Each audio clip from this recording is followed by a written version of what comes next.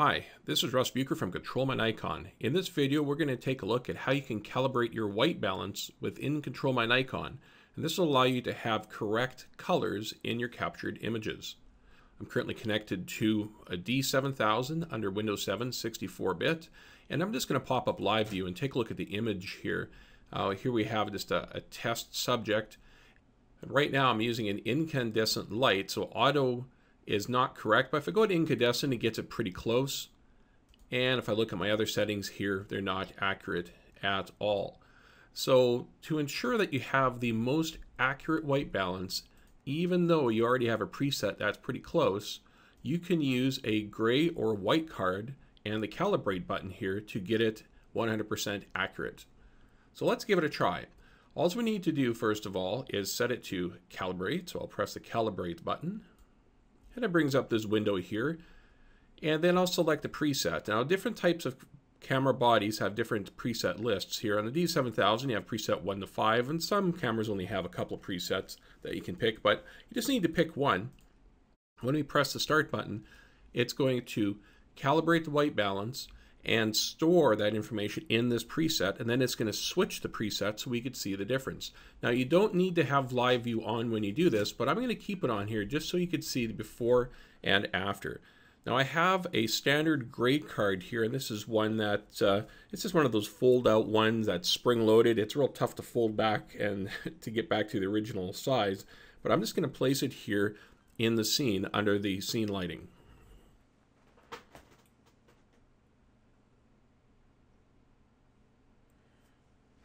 Okay, so there's a gray card, and as you can see, it just does not render the color correctly at all here on auto. So now let's try calibrating the white balance based on this card. So I'll click on Start, and it says here it's calibrating. It's basically taken an image of this internally in the body, and is trying to assess the color. So here, you can see how the color has changed. Those changes are now set inside preset 1, and you see it automatically set to preset 1. I'm just going to flip back here to auto and you could see the difference. Back to preset one. There you go. So now when you shut down and control my Nikon and even shut down your camera and then bring it back up later, this calibration data will still be in preset one. So it's very easy to do this. By setting your white balance, it makes it a lot easier in your post-processing because you'll need minimal color corrections to your image. Now sometimes you'll have a failed calibration and it, instead of success, it'll say fail here. And the white balance calibration process in the body is very picky. And sometimes you'll put your white card up and it'll just fail for no apparent reason. And the best thing is just to try it again, move the position of the card around a little bit more, change the focus maybe a little bit. And I'm just going to try changing it here. We'll bring up the surface grain of the white balance card. I'm going to give it another try.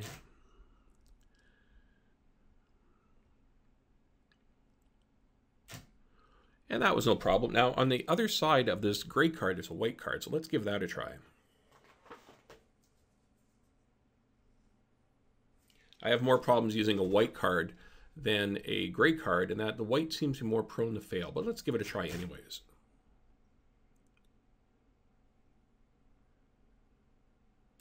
And work this time.